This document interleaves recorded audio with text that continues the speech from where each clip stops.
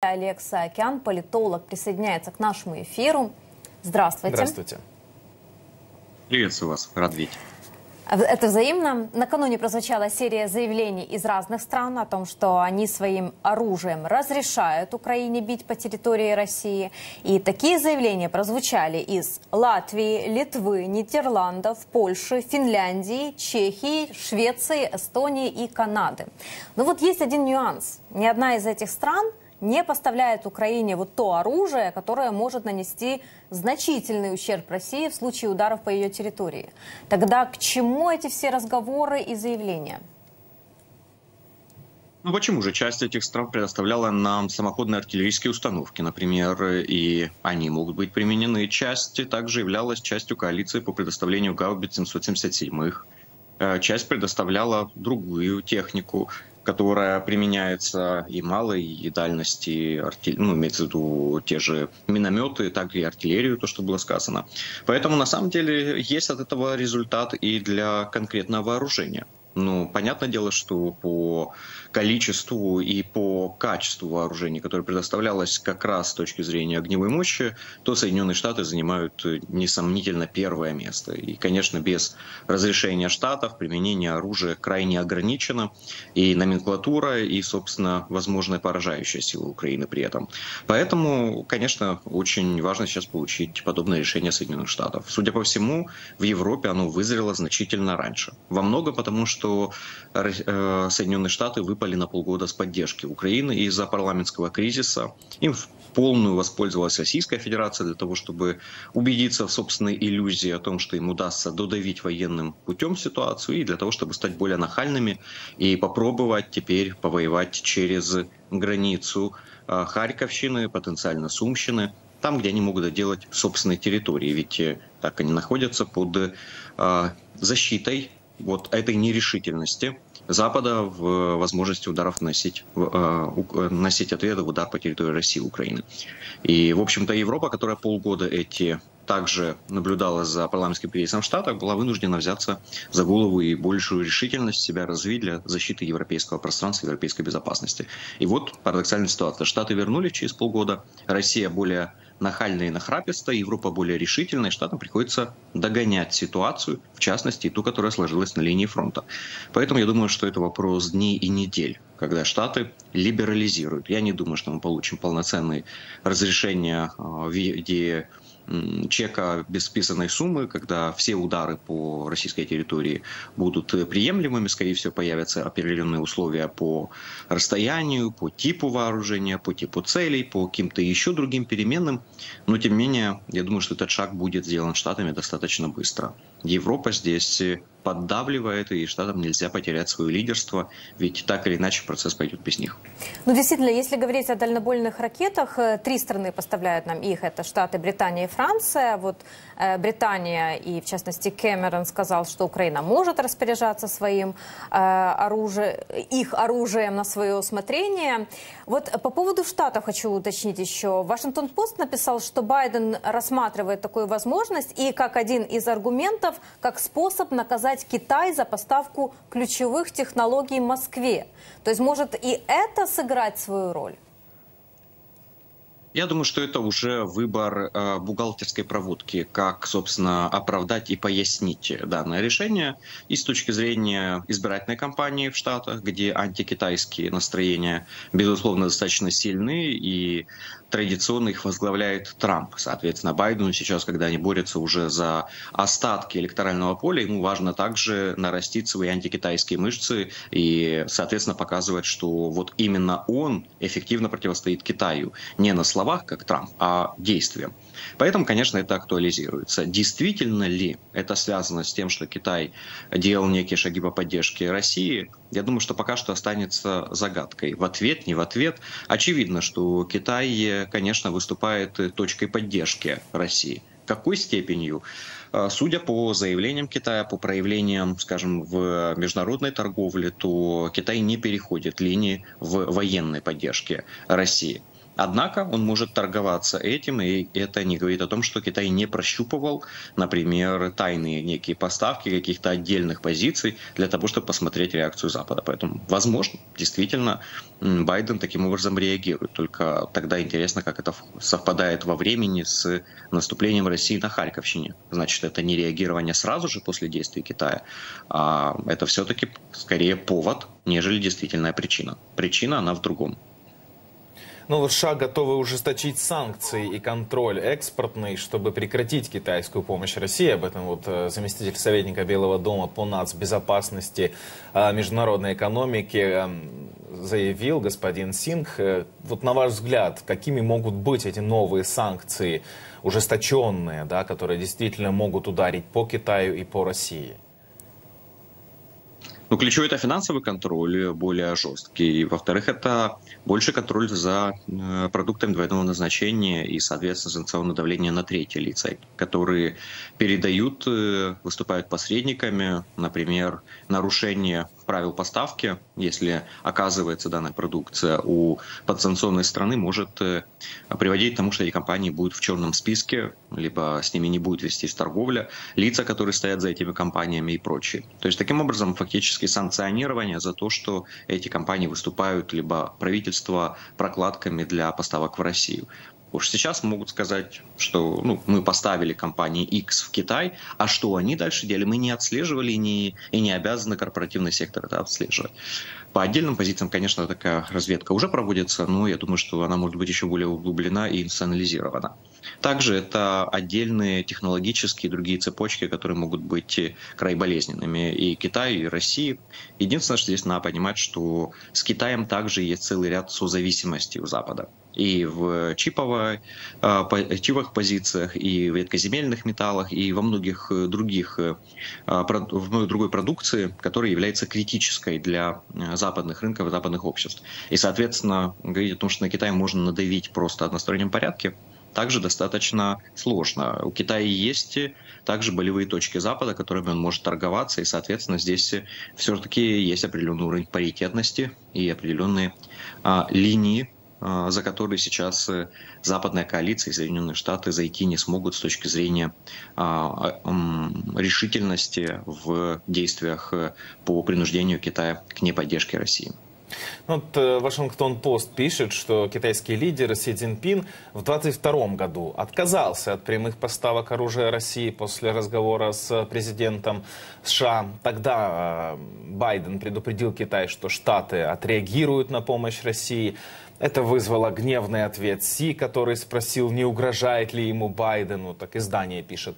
Э, после этого началась тихая, да, тайная помощь России. Э, как полагаете, действительно ли тогда Китай был готов э, к прямым поставкам в Россию? Я думаю, что тогда была кризисная точка, в которой Китай мог занять такую позицию, но я не уверен, что Китай был готов к ней. Для Китая был э, более или менее приемлемым вариантом, если Россия быстро побеждает. И, соответственно, тогда мир еще не опомнился, еще не выработал иммунитет. Подобно российской агрессии, условно повторяется кейс Грузии. И, соответственно, для Китая стратегические риски не возрастают, хотя определенная турбулентность и м, негативные издержки, конечно, для Китая были не сильно приятны. Но они были бы приемлемы. Китай был бы выгодополучателем от того, что Запад продемонстрировал очередной раз, что они не способны противостоять наглой силе.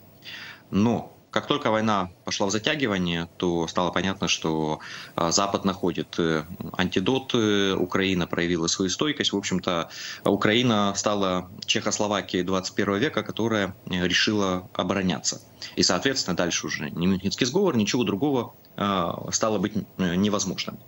И вот с этого момента для Китая поддержка России уже стала очень токсичной, ведь важно было не попасть под общий пакет действий относительно России, чтобы Китай там не был через запятую, и чтобы, собственно, это не распространяло на Китай все издержки от э, не подготовленной, неудачной э, агрессии Российской Федерации, где она переоценила себя и недооценила Украину и мир. И, соответственно, с того момента я думаю, что Китай уже сознательно абсолютно отказывался от именно военной поддержки России, того, что может быть э, продемонстрировано как поддержка российской военной машины, а не российского государства, экономики, финансов, прочего, энергетики. И вот тут вот, вероятно, уже дальше слова Байдена были не нужны. Но в кризисный момент 2022 года я также склоняюсь к мысли, что без позиции Соединенных Штатов ситуация могла бы развиваться иначе, иначе и, возможно, Китай, даже если бы не своими руками, то через свои прокси так или иначе мог бы начать некие поставки вооружений э, Российской Федерации, поскольку для Москвы это было очень критичным.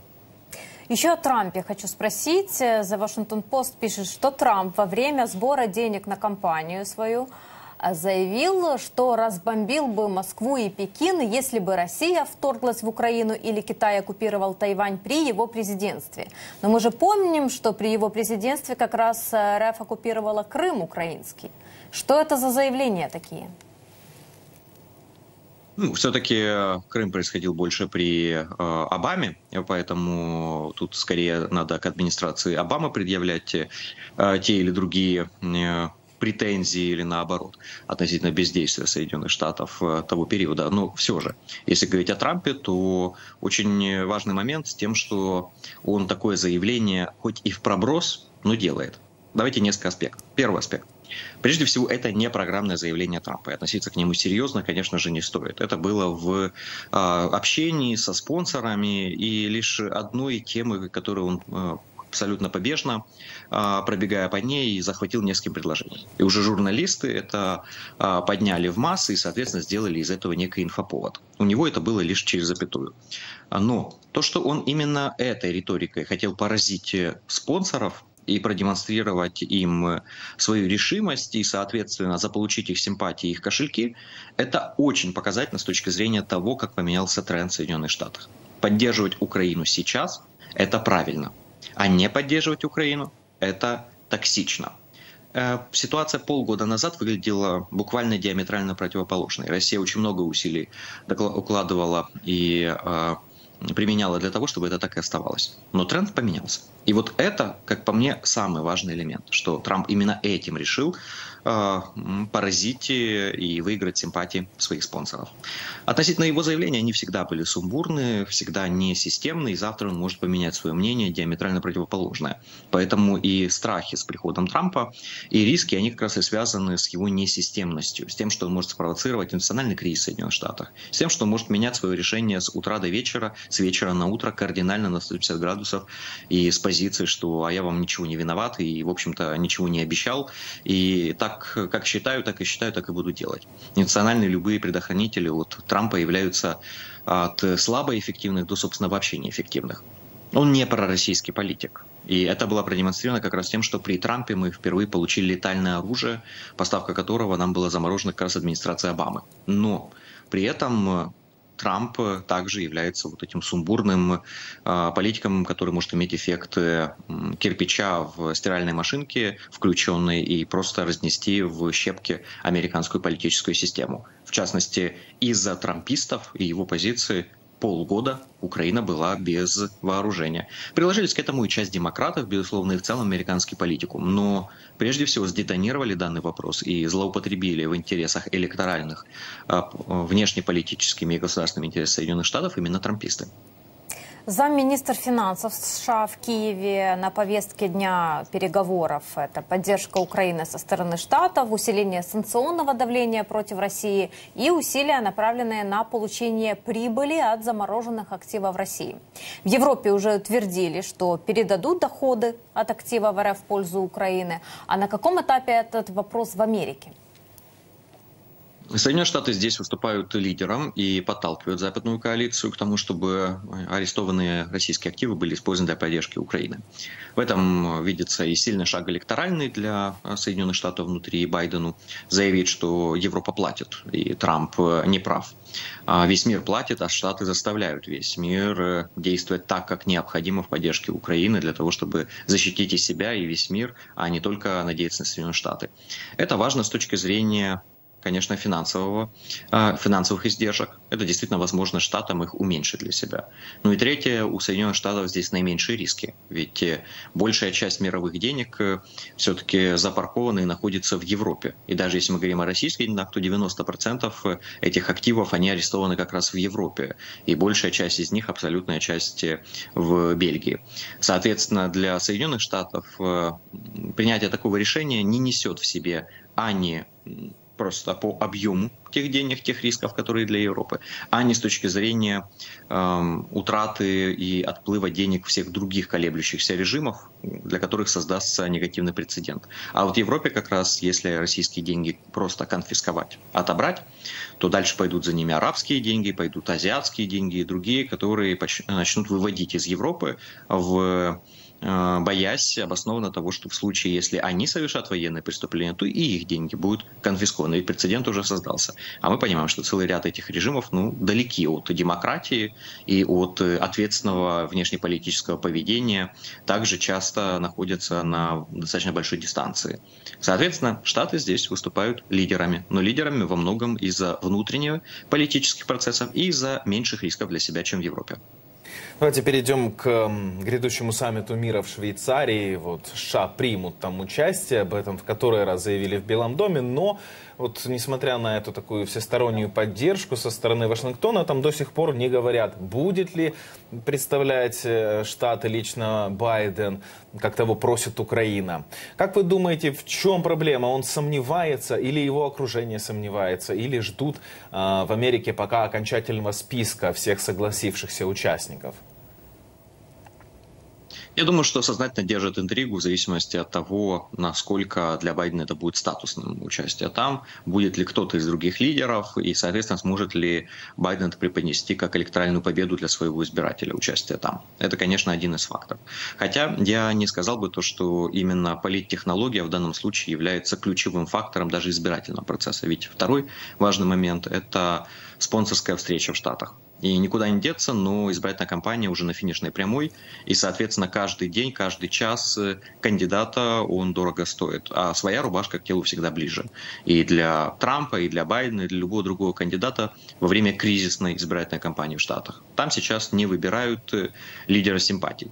Там сейчас идет э, хорошо известное нам в Украине голосование за наименьшее зло когда Байдена поддерживает значительная часть избирателей как меньшее зло по отношению с Трампом, а Трампа как а, недопущение катастрофы в кавычках в виде а, Байдена, по их мнению. И, соответственно, в этих условиях э, каждый пол голоса и каждый полпроцента, не говоря уже там о проценте, двух, э, являются полем колоссальной битвы. И для Байдена участие в мероприятиях спонсорских в Голливуде с, со звездами кино и не только Соединенных Штатов является, конечно, не рядовым событием и очень важным. Поэтому будет соизмеряться все до последнего момента. Я думаю, что шанс того, что Байден таки примет участие в саммите мира, возможно, а, ограничено по времени, на открытии, например, на каком-то одном раунде, и потом улетит, также остается.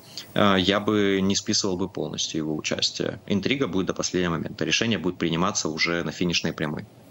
Еще один саммит, саммит НАТО, который будет в Вашингтоне 9-11 июля. И там вот обсудят перспективы членства Украины в Альянсе.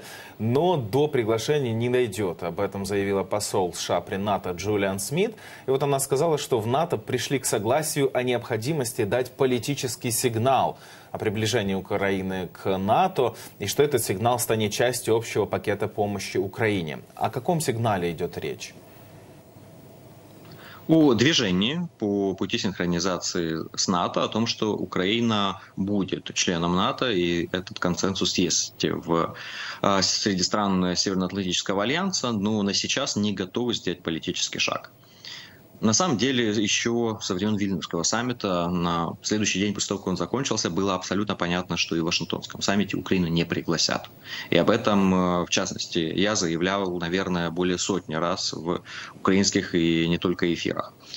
Не вызрела позиция в Вашингтоне прежде всего. Дальше уже Берлин и другие столицы, в которых э, этот уровень решимости меньше, но и их вес политический внутри НАТО все-таки поменьше будет. Несмотря на то, что 90% стран Североатлантического альянса на сегодня поддерживают членство Украины и готовы были бы сделать это приглашение, но прежде всего Вашингтон не дозрел до этого и не готов политически. Соответственно, рассчитывать на то, чего невозможно получить, и то, что невозможно на сегодня, было бы крайне инфантильным и, наверное, деструктивным. Ведь таким образом мы создаем ложные ожидания, а потом мы можем разочаровываться. Не стоит разочаровываться. В данном случае все очень даже нормально. Для нас сейчас важно несколько аспектов. Первое. Демонстрация движения в этом направлении, что мы не откатываемся, что мы не стоим на месте. И заметьте, риторика НАТО сейчас построена в оправдательной манере фактически. Они говорят, нет-нет-нет, конечно же, да, и вам будет сигнал и прочее. Это уже хорошо, и для Украины это важно на пути в НАТО. То, что теперь четко мяч на стороне поля Североатлантического альянса, и понятно всем, и они несут ответственность и признают ее за то, что это политическая составляющая, и она у них. А, второй момент – раз не можете сделать такой решительный шаг, то дайте что-то тяжелое в руки. То, что сейчас будет для Украины важно. Если бы Украина получила сейчас приглашение, ну, оно может тянуться еще очень-очень долгие годы. Для нас, для ситуации на фронте, собственно, это не создает никаких дополнительных возможностей ни с точки зрения обороны Украины, ни улучшения наших позиций, ни э, дипломатически, никаким образом.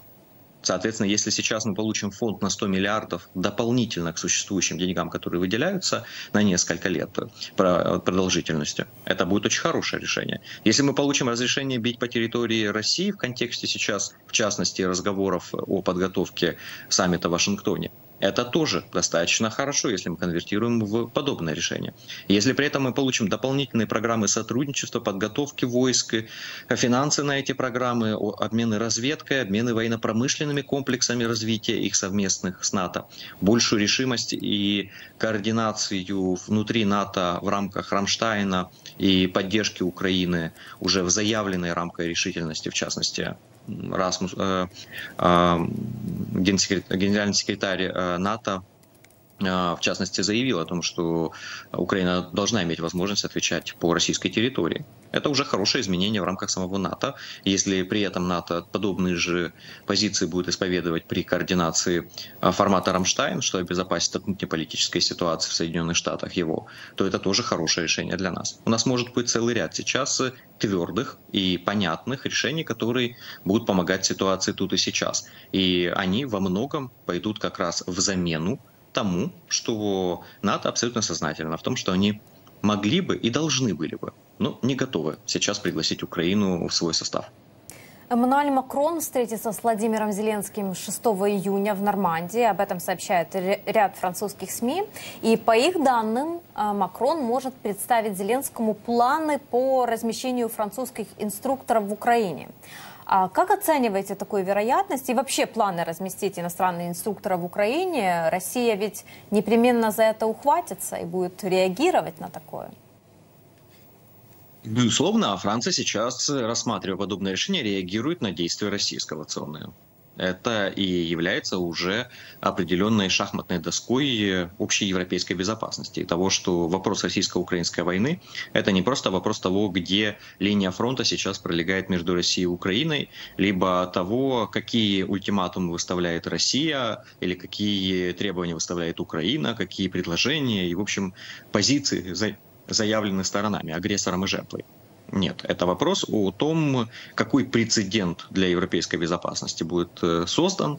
И, соответственно, Европа в контексте российско-украинской войны выходит э, безопасным местом, либо местом, где разгорается новый планетарный конфликт хотите Третья мировая, хотите глобальная война, кто-то скажет, что это уже Четвертая мировая. Ну, в общем, по-разному историки смогут назвать а, данное возгорание конфликтов, э, поскольку, мне кажется, оно будет носить децентрализированный характер, если состоится. Но, тем не менее, это всем понятно, что будет э, как минимум континентальная, а как максимум глобальная война. И, соответственно, именно это судьба э, мирового порядка решается сейчас в Украине. Ведь Российская Федерация напала не только на Украину. Российская Федерация напала на международное право и силу права э, в Украине.